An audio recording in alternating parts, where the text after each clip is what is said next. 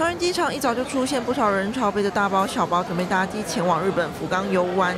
不过八号下午，日本九州宫崎县东部近海发生瑞士规模七点一大地震，当地新干线和宫崎机场一度受到影响。不过台湾旅客对于地震则是保持平常心。现在来听一段旅客访问，多多少少会有担心，但是我我觉得应该有有一点距离，所以觉得还好。嗯，对啊，而且台湾也也有常发生类似这样的地震，所以我我们觉得会审慎对待。不过我们觉得还好这样。因为台湾也是地震带，所以你会知道说地震大概是什么样子。那你你也你会有点了解啊。可是呃，对日本还是有相对的一个信心。由于现在正值暑假期间，不少家长带着小孩出国，面对地震，大多旅客因为台湾也常发生，并不会过度担心，但也会多加留意。